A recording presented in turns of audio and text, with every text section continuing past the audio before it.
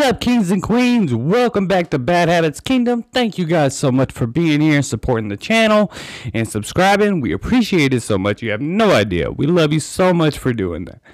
We are at 1,764 subscribers right now. That is so amazing, guys. Let's give it a clap. Let's give it a clap. I am so happy about that. Never thought in a million years I would ever have 1,700 subscribers. So I'm really proud of that number. A lot of people are like, well, you need to get a million. You need 50,000. I love my 1,700 subscribers. So I just want to make that very clear. Thank you so much. And if this is your first time on the show, do me a favor, hit that subscribe button and the like up. Okay, we definitely need more support, of course. But what you can also do is go on Spotify, go on Apple, go on TikTok, go on Instagram, go on everything. We are there. We are there. Bad Habits Kingdom is there. So if you're not able to watch the show, you can listen to it on Spotify and Apple while you're at work or when you're working out or when you're driving. Whatever. We are there, baby. All right, kings and queens. Tonight's show. Oh, before I get ahead of myself, First things first, as of always, if you hear any yelling, screaming, or breaking, that is my almost two year old daughter Luna. She likes to be part of the show, and when I don't include her, she gets a little upset and starts breaking the cameras and tearing down lights. You, you, you know how it goes if you have a child. So, again, me and my queen, or my queen and I, sorry, should, you know, have better grammar. Um, We'll be going to the Children's Hospital take toys for the kids at the end of the month. If you would like to help donate towards that cause, go to the GoFundMe account in the link below. Every donation counts. $5 goes a long way. We can buy a couple toys with $5. But all of your donations will be going to the for to purchase toys for the kids here in Las Vegas at the Children's Hospital. That is our goal right now. So go ahead and donate. Every donation counts.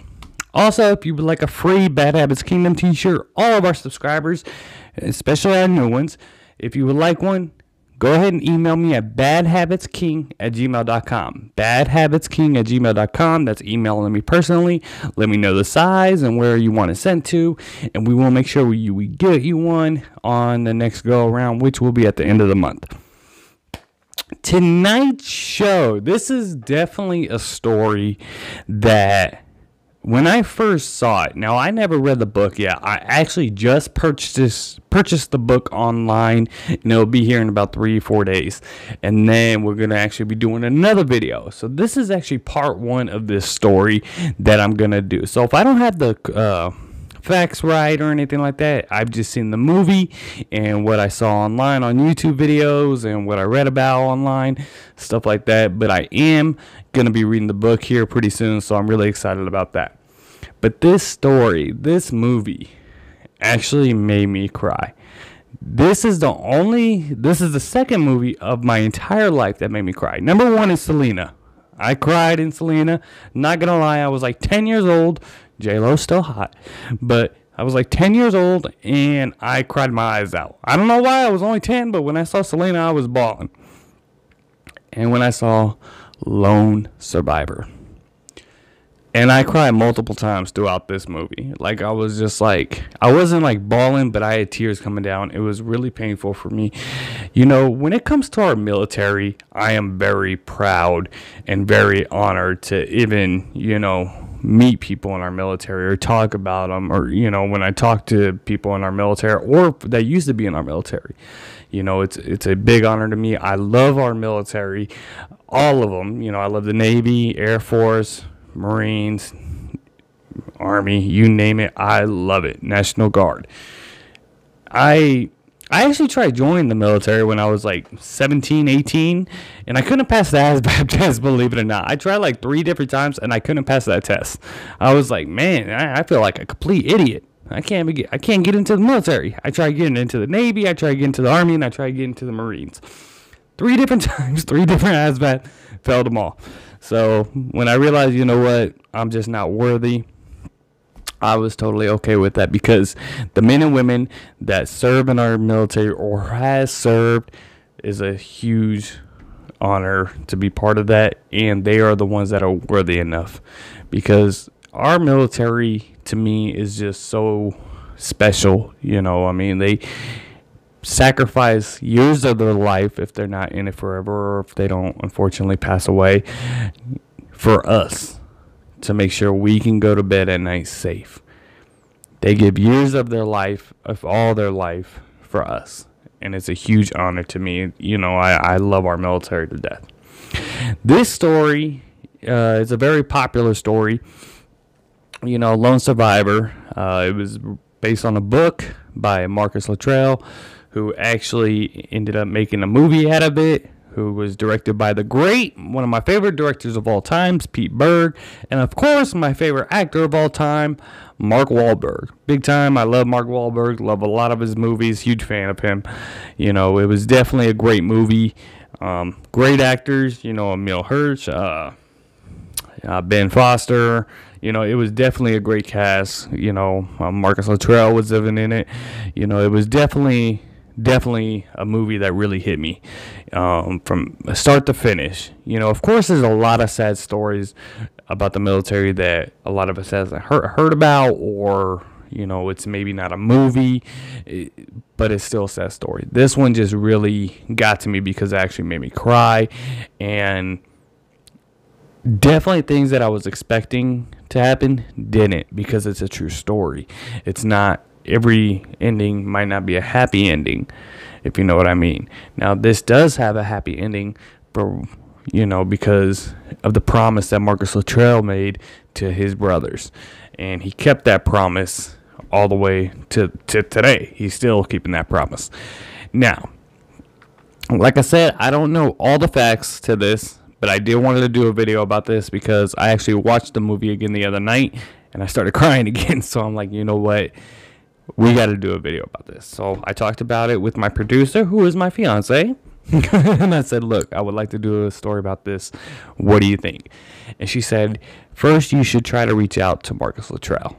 You don't want to piss him off. You don't want to offend any family members or anything. I said, Well, well, how would I do that? I'm not bad mouthing him or anything. And she was like, Just out of respect, try to do that. I said, okay. So I went on Instagram and I found Mark Luttrell's Instagram and I re- did send him a message like, hey, you know, I would love to interview you. You know, this is my YouTube channel, my videos, my podcast, Bad Habits Kingdom. And of course, you know, he's big time famous, has a bunch of followers and stuff. He didn't respond back, which isn't a surprise. But I at least did my part and I reached out and said, hey, I'm would like to do this. So, now Operation Red Wings. Now, Red Wings, of course, is the hockey team. Red Wing. I, I, I don't know if it's Red Wing or Red Wings. I think it's Wings with S. But come to find out, Navy SEALs. Now, first, let me talk about the Navy SEALs before I talk about Operation Red, Wings. It's hard. It's hard for me to say Operation Red Red Wings. I can't say. I'll just say RW. So, Navy SEALs badass. Okay, everybody in our military, in all of our branches, are badass people. If you're in the Navy, Army, you know, National Guard, whatever, you are a badass. But Navy SEALs are just a little bit more of a badass. Okay, these guys are like hardcore. If you know Navy SEALs, they got Captain Phillips, they got Bin Laden, they got you know, they're the best. They're the best at what they do. You know, they are hardcore. When you meet a Navy SEAL, it's like whoa, that's like a different level. That is a different level. I'll just say that. You know, the training they have to go through. I was actually watching videos on their training, and it's actually in the intro to the movie Lone Survivor where they're actually tied up by their feet and ankles, hands behind their back, and they're actually in a pool. I would freak out. I would freak out. It takes a special person to be a, Navy SEAL. And I think everybody knows that by now not anyone can just be a Navy SEAL. It doesn't work that way. But they are the baddest at what they do. And they always are like in a small group. You know, they're never like 50 of them at one time or anything like that. They do missions in like real small groups, but that's why they're so good. They can do that and they can make miracles happen. They can make the baddest things happen and come out on top. Okay, so Operation Red Wing. So basically, the mission was to kill or capture Hamid Shah. Now, he is a tier one target. They even talk about this in the movie, who basically runs militaries for Osama bin Laden. Okay, this guy is way up, huge target.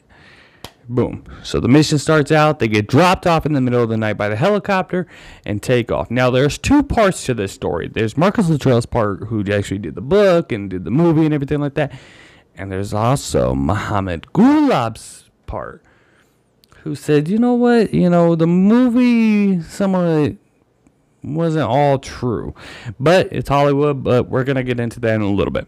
So the helicopter drops them off in the middle of the night. They got a nice hike ahead of them. Then they get to the camp. They actually identify Muhammad Shah, or I'm sorry, uh, Hamid Shah. I forgot I was about to say Muhammad Shah, but Hamid Shah. You know, they identify him. They send him back to headquarters, and then they're getting ready to, you know, make their move, or you know, just waiting to, for more information, or just you know, doing what SEALs do, basically investigate. Then, in all that mountain space, a little small family, an old man and two little kids. Well, not one kid and a teenager who basically is a warrior in that day, you know, at that age, stumbled upon them. Unfortunately, now the Navy SEALs had them, you know, they had control of them. It wasn't like they had the, you know, they ran or anything like that. They had, them and they didn't know what to actually do. So basically, they didn't really vote, but they were talking about amongst themselves, like, hey, we need to, what are we going to do? We go let them go where they can actually run down to the village, tell them where we're at, and then be on our asses in less than an hour or two, you know, tie them up, dip out, where it's possible they can be eaten by animals, or they can freeze to death, or they can just terminate them. Marcus Luttrell actually said in many interviews that he actually said that he wanted to kill him. Now, I do agree with that. You know, it was told as well that Axe wanted to kill him, but in the movie, it was saying that Axe wanted to do it, Marcus Luttrell didn't, and Danny Dietz didn't take a vote at all. He was just more like, you know, this is what we do, what we do, but if we do kill him, it's our business. You know, it's what we had to, and they end up taking a vote, and I think it came to grip to him that that's not what they are. They're U.S. They're you know military. They're you know, SEALs. They're you know not murderers you know, it's not what they were, it's not who they are. So then they let him go. I don't know why they didn't tie him up at least. I think they should have at least done that. But there's a reason why they let him go, and I respect their reason to let him go. You know, me personally, yes, it's easy for us to say, hey, yeah, you, you should kill him. It's easy for us to say, that we're not the ones doing it. You know, it's easy to say that, but when you put a head to a you know gun to a kid or a knife because you can't be loud because the village is right down there with 100 150 Taliban, you know it's not easy. You know, so I really understood why they end up letting them go. So then they dip out. They still can't get comms up. I mean, no radio contact, no signal because in the mountains over there, it's a really a pain in the ass. Even helicopters go down because of the signal and stuff like that, because of how the mountains are and everything. It's just really, really horrible when it comes to, you know, radio connections. I'll say that. So they end up walking a little bit. In less than an hour, the Taliban catches up to them. Now, I was under the impression for a little while that there was over 120 Taliban who uh, was actually attacking the four Navy SEALs but it was actually Gulab, who after Muhammad Gulab, who actually saved Marcus Luttrell, we're going to get into him in a minute, who actually came to America and saw the movie. You know, he was actually part of it and everything, and was like, that's not what happened. So now, the movie part is what I just told you about, and that's what's also Marcus Luttrell's part. But Muhammad Gulab said that that's not what happened. Basically, that's what happened, but the little the old man and the teenager and the young boy with the that stumbled across them they're not the reason why that the Taliban caught up to them or anything they didn't go run down telling the Taliban was already looking for them because they knew that they were there. Now, from Gulab saying that he said the night that the helicopter dropped them off, The Taliban and everyone in the area heard that, so they knew somebody was around. So then they went searching for them. They came across their footprints, ch- chased them down, and found them. Now, I think it was more a Luttrell story, honestly, because Gulab wasn't actually there with the Taliban when they were looking for him or anything like that. Marcus was. He was there. He experienced this. But there's one thing I'm going to say real quick about this story that really, really pisses me off and it drives me nuts. There's actually live footage of this on YouTube of one of the Taliban men, man, whatever you want to call him, punk, that actually was recording all this, and it's actually on YouTube. And what gets me, I actually threw my phone. I broke my other phone. This is a different phone that I had. I had to go buy another phone because the one that's in pieces now because I broke it. So, but I got a new one and it's over on the counter, so I'm not gonna touch it. But you actually see them taking the soldiers' gear, watch.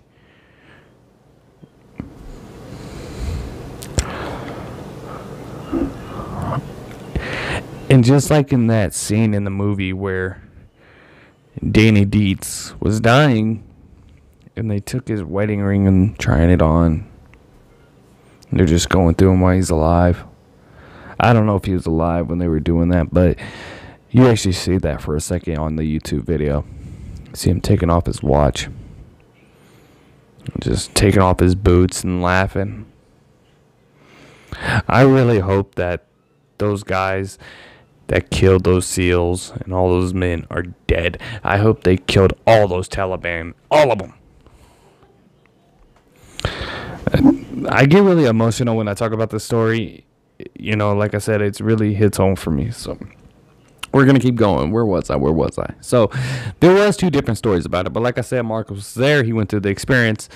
I believe his side more than I believe Muhammad Gulab.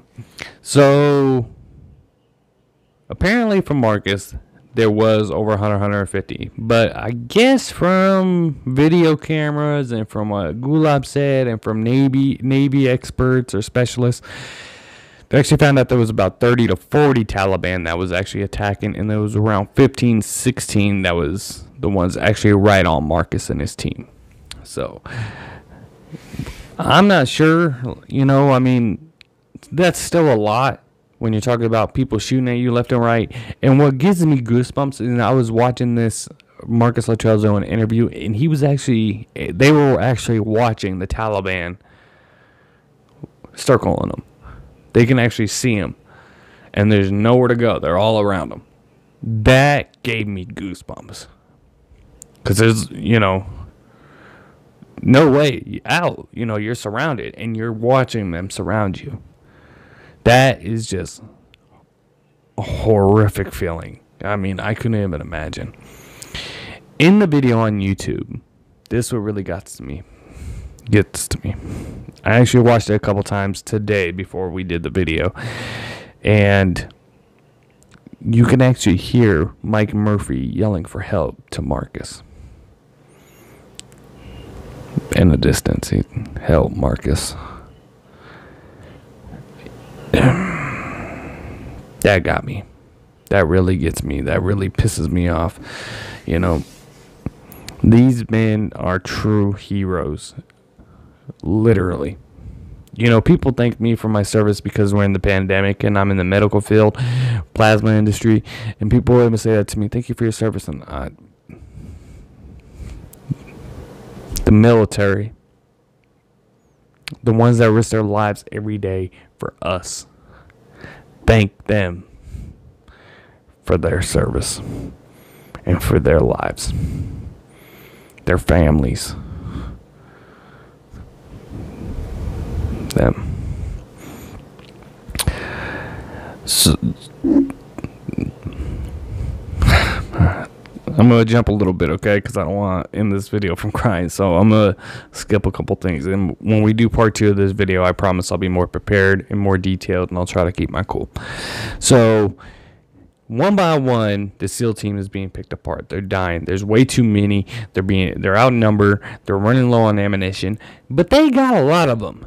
Me personally, I think if they had the ammunition and they were in better ground because they're shooting up, they're going down the mountain while the Taliban is just all around them on top, so they could see them perfectly and they're shooting up they're trying to hide they're going down so they can't see behind them it's a hill. I mean that is just a horrible place to be around. All just all the way around. That is just horrible because the taliban is just pretty much over you. They can see you nonstop. There's not really good places to hide.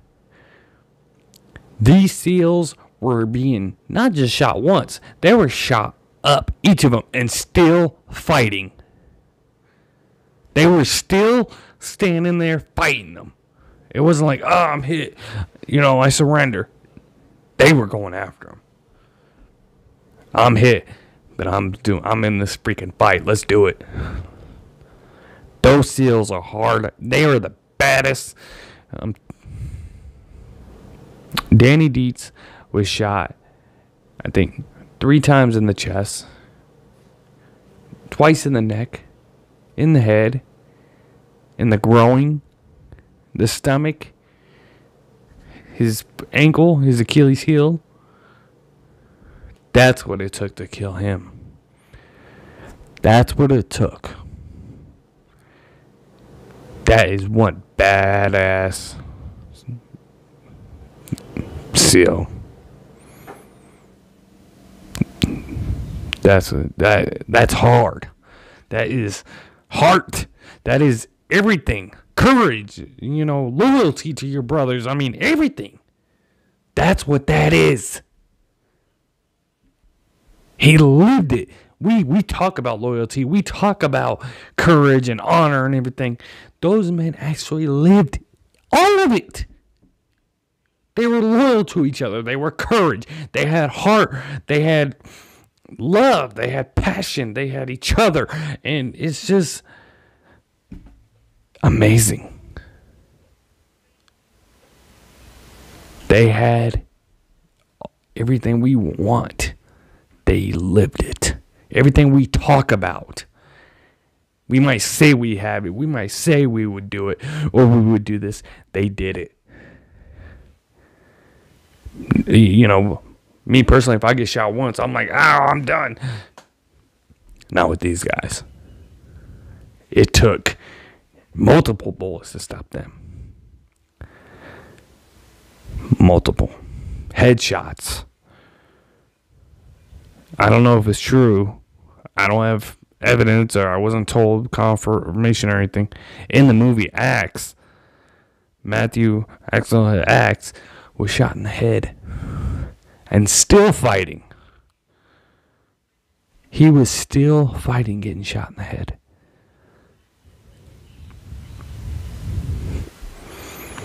Mike Murphy knew what was going to happen to him. He knew he had to make a call to get his brothers out of there. He knew the only way to get that call connected is he had to go on a cliff, rock area, in the open, no cover. But that's the only way he knew that the, he, his brothers, his brothers, not him, his brothers had a chance to survive. Didn't think twice about it. He went and did it. Gave his life. And the last thing he said on the phone was thank you. Told them where they were, got the help coming. They and when he hung up the phone, he said thank you. And that was it. So when I first saw the movie, like I said, it's a true story.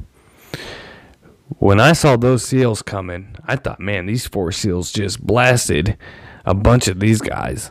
Now a whole SEAL team, you know, 16 of them are on the way. These Taliban are done. They're going to swipe all those Taliban out. If four of them are already getting all most of them, 16 is going to take it over. but it's a true story. That's what we wanted to see. That's what we were hoping for. When I first saw the movie, I was like, that's what I thought. I was like, oh yeah, they these Taliban are done. Until an RPG came and took out the chopper.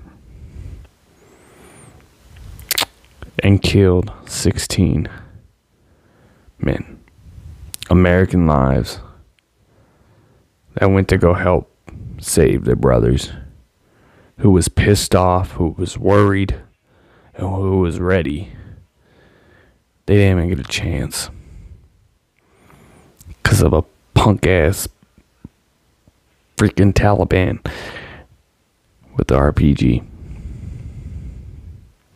Shane Patton actually lived out here in Nevada. Lived about 30 minutes away in Boulder City. I wish I uh, wish I knew him. You know, that's Shane Patton, the you know the rookie SEAL in the movie. Real person, true story. Lived in Boulder City.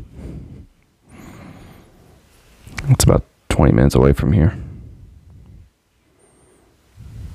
All he wanted was a fight and serve next to other SEALs. He was excited. Their commander was pissed off, trying to get his men out of there.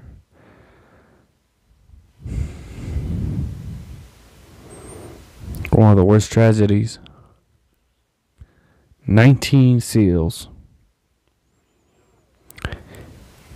Marcus lost all of his teammates. All of them. He was all alone out there in the mountains with all those Taliban He's coming at him. All of them. For him. He crawled. He had bullets all over him. He broke his back. Face all messed up. RPG went through, you know, blasted his leg. You know, he crawled for hours and hours and hours. He even said in an interview he was so thirsty he would have killed somebody just for water. You know, he actually had to go through that. Can you imagine how terrifying that had to have been? Any minute you're gonna get, you know, you're, you're surrounded by enemies. They already killed your entire team, all of them, all your friends, all your brothers, and all of them are coming for you. Marcus finds water, puts his whole body in it, drinking it. In severe pain, of course. You got to remember, he shot up. I mean, broke his back. He knocked himself out multiple times. You know.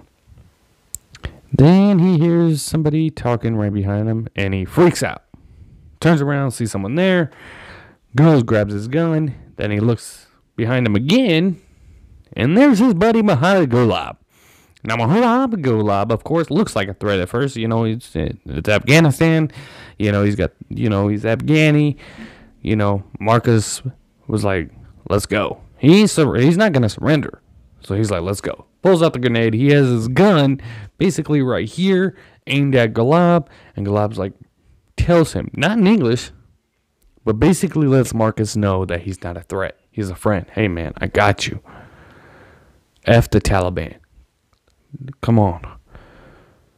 I don't know why.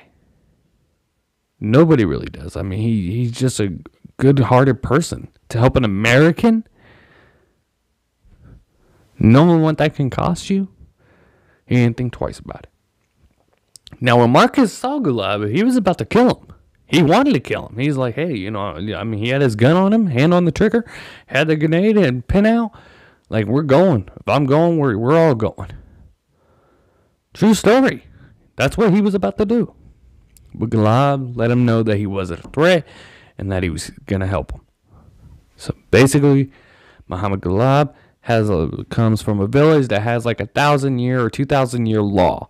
So basically, anyone that enters that village or I guess you won't say enter the village, but someone from that village offers assistance, or if you ask them for help, I think you actually have to ask them for help. And that's what Marcus did. Will you help me? And the guy said yes. And they would actually protect you, be with you the entire time, and fight for you as well. They will risk their lives for you and protect you, whatever, because they basically offering you the, their service.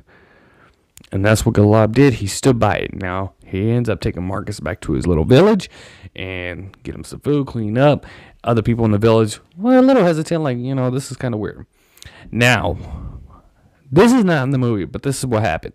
So basically, the Taliban show up to the village and they're like, hey, give us the American, you know, give him to us. Golab said, no, he's my guest. I'm taking care of him. He's with me. You know, you can't have him. And they're arguing back and forth. And then an elder from the village, an elder man, basically, I guess you could say the chief of the village, came up and was like, no, you know, I'm going to back Gulab up. We're going to take care of the American. We're going to offer him our assistance. You know, he's with us.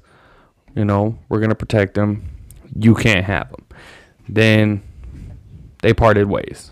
Basically, they let them know, like, hey, we're not going to give them to you. The Taliban didn't just murder them like they were go- like in movies and stuff like that that you see.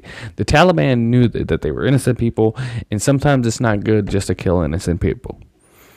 But they wanted the American, and it wasn't going to go easy, and they weren't going to give up either. So basically, they left. They go tell Shah, hey, he's down there.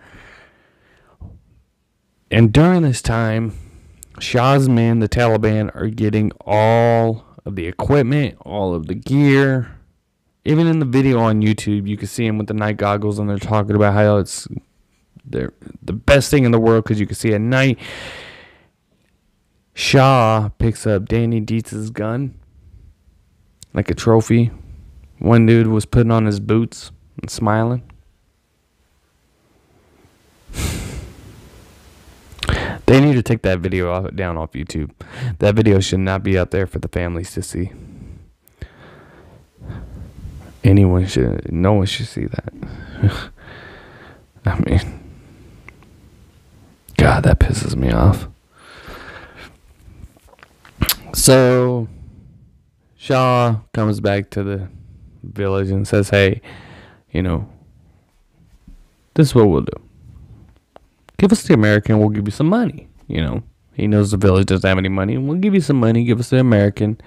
You know, we're not going to kill them. We're going to use them to basically transfer prisoners that the Americans had. That's basically what he was telling Golab. Shah was telling Golab that, hey, we're not going to kill them, but we are going to trade them for prisoners to uh, the American of the Taliban. We're just going to swap them out.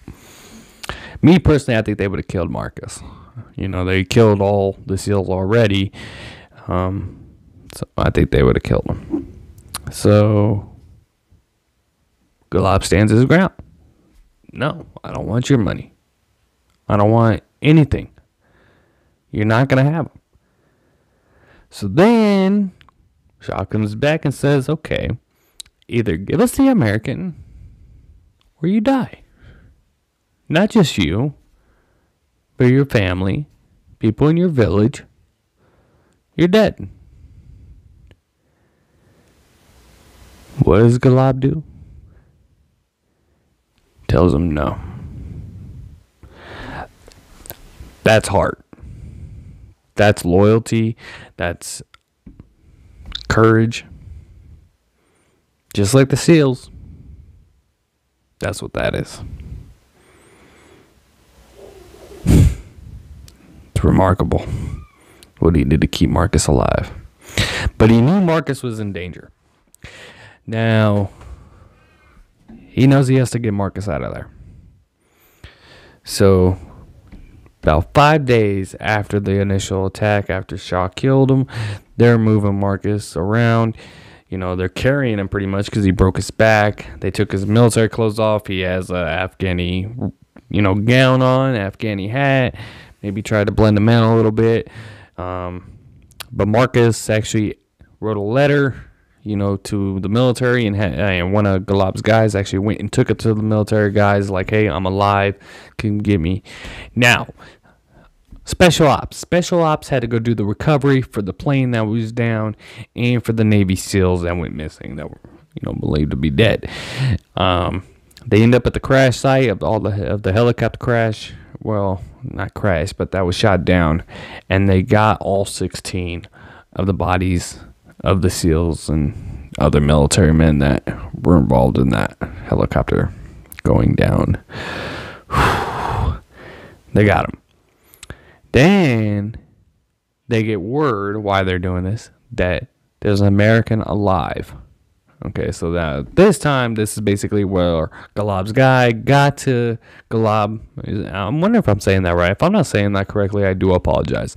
Galab's guy got to the military, U.S. military, gave him a note from Marcus, and now Special Ops hears about it. Okay, there's American alive. We got the word. Let's go get them. So Special Ops starts walking, and they actually go the same route that Marcus and his team went and they didn't see anyone along the way. Anybody. Nothing. They didn't see the bodies of the other SEALs. They didn't see the Taliban. Nothing. They end up arriving to where Marcus was. And at first, they didn't know. They didn't know what was going on. They just knew American was in danger. So they had everybody on the ground. They were breaking in doors, you know, they, you know, making, you know, basically making sure they have control of the situation. Then they find Marcus. He's in a Afghani gown, Afghani hat. And then they ask him, you know, what's going on? Where's the rest of your team? Where's the enemy? Where are the bad guys? He said, they're all around us, man. They're all over.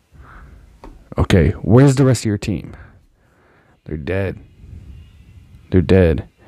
Then they start talking about, you know, which way did you come from, which way did you go, everything like this. Now, remind you, Marcus has a broke his back, busted nose, shot, you know, RPG hit his leg. I mean, it didn't go through him, but, you know, shattered his leg. I mean, he is tore up, but he's sitting there talking to these guys just so they could pass intel and, you know, get on the right page. And Marcus Luttrell asked them, How many guys do you have with you? You know, because we're still in the middle of this. These guys are, like I said, they're all around us and they've been coming after me. They've been coming back to, to get me. How many guys you got with you? You got about 15. And the guy laughed and was like, well, no. You got about, you know, 20?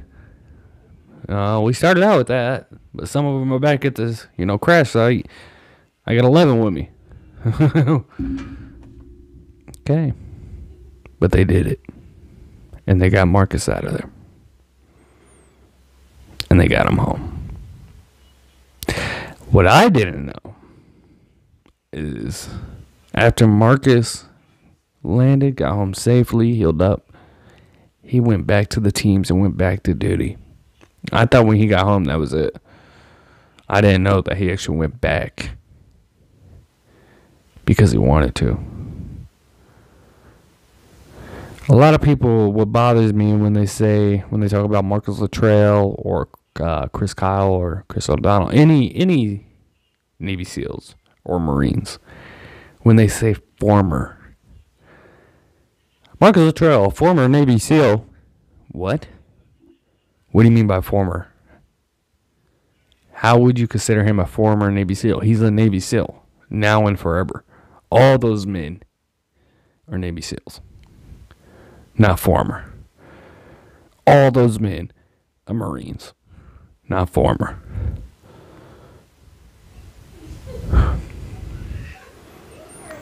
This story really, really gets me every time, you know, and I know I missed a lot in the video. I didn't go over every single detail, but I promise you on part two of this video, I will. I would definitely get more intel or intel. Let me, I'm trying to be like him. Um, after I read the book, the book will be here in two to three days. I'm gonna read the book. I'm gonna try to look into the things, and you never know. Make it maybe Marcus Luttrell will respond back and come on the show. We can do a Zoom, Zoom interview because I know he lives in Texas and I live in Vegas. So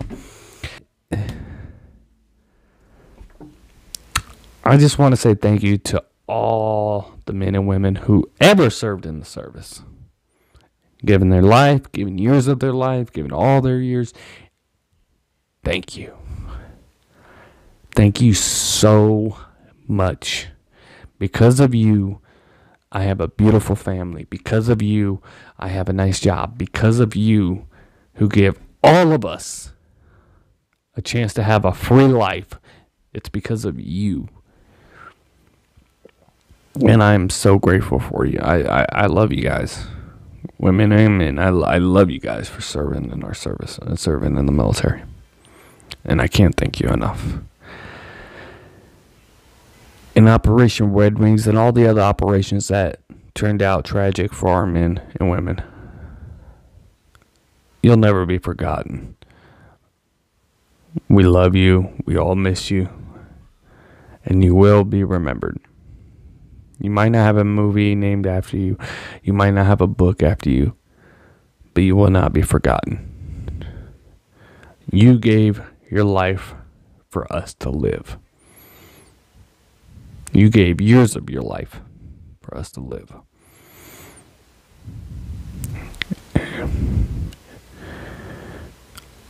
And I wish there was more I can do than just say thank you. That's going to be it for tonight's video, guys. I do appreciate if you watched it this far.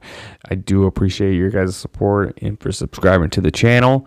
Remember, if you would like a free Bad Habits Kingdom t-shirt, go ahead and email uh, email me at badhabitsking at gmail.com. And like I said, if you would like to help donate to get some toys for the kids at the Children's Hospital, go to the GoFundMe account, the link below.